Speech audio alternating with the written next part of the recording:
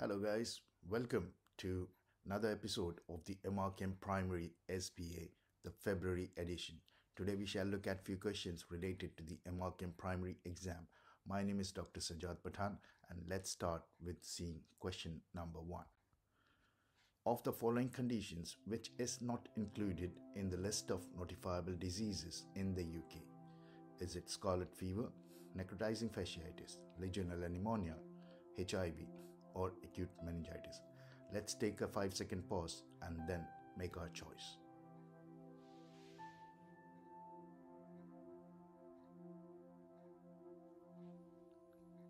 So the right answer over here is HIV. Remember, you need to memorize the notifiable diseases in the UK. Meningitis is a notifiable disease. You have to inform the Public Health England even if you suspect meningitis. Legionella pneumonia is another notifiable disease. Necrotizing fasciitis and scarlet fever are, are notifiable as well. Group A streptococcus. Group A streptococcus causes these conditions such as necrotizing fasciitis and streptococcal toxic shock syndrome. These are called as systemic group A infection. Scarlet fever, you must have heard of the epidemic which has recently happened about uh, the scarlet fever in the UK. This is also, although non invasive, is a notifiable condition. Without wasting further time, let's look at option, uh, let's look at question number two. A patient is in shock and you decide to give IV fluid boluses. Of the following, which color cannula will administer the fluid the quickest? Is it blue, gray, green, pink, or yellow? Let's take a 5 second pause and decide our answer.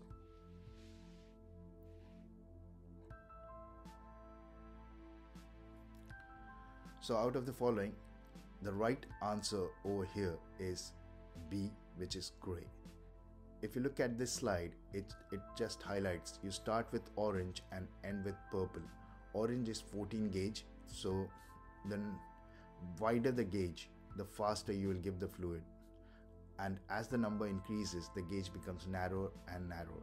The second is gray, which is 16. Green is the one which we commonly use, which is 18.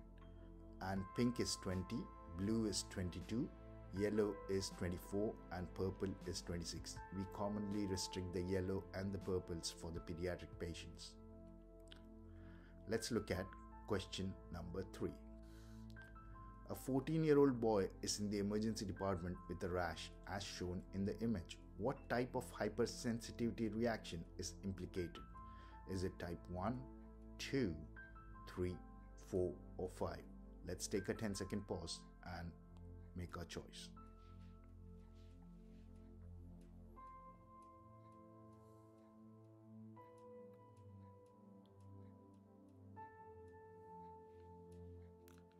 So the correct answer over here is type 3. In the next slide, we'll see the table of the types of hypersensitive reaction. I'll try to simplify it as much as possible. Type 1 is allergic, type 2 is cytotoxic, type 3 is immune complex mediated, type 4 is delayed type. If you want to remember a mnemonic, remember acid, allergic, cytotoxic, immune mediated, and delayed. So in type 1, it is due to the mast cell release of histamine and is IgE mediated.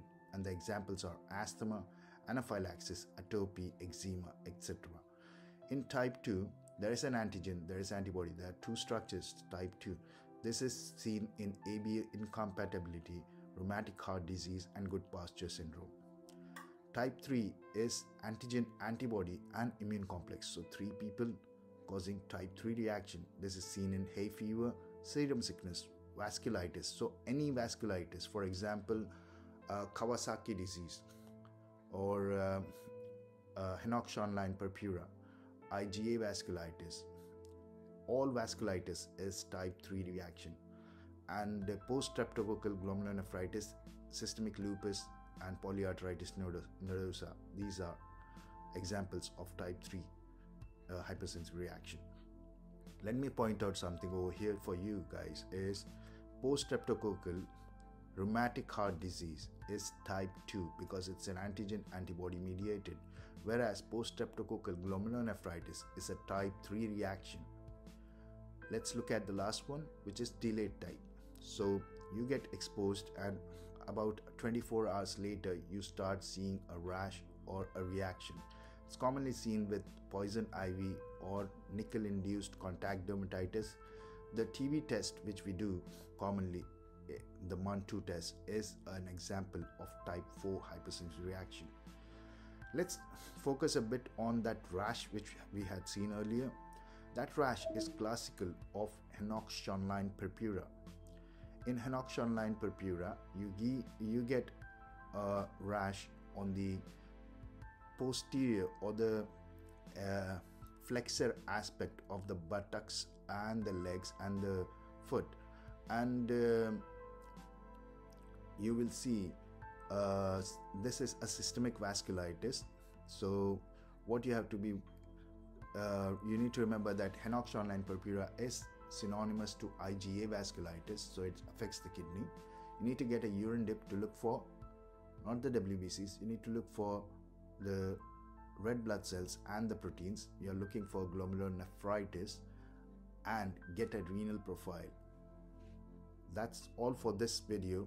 But before we move on, I want to answer the last month's question. Name the analgesic that can precipitate a serotonin reaction with SSRI, SSNRI, and name the antibiotic that can precipitate serotonin reaction or serotonin syndrome with SSRI, SSNRI, or MAO inhibitor.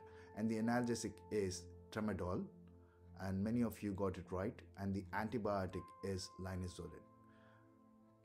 The quiz for this month is a patient is brought in with shortness of breath and agitation from a poppers party. If you look at those uh, uh, bottles over there, they are all nitrate containing substances which are commonly abused in parties.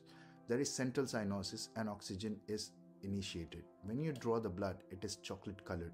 What is the treatment recommended? When is the antidote contraindicated? So, this is the quiz for you guys to answer in the comments below. If you're liking this series, liking this video, please hit the subscribe button, like button, and share the video. I would be grateful if you can hit the thanks button and share towards making such content. Thank you so much. Write the answers in the comment below, and I'll see you with the video next month. Goodbye.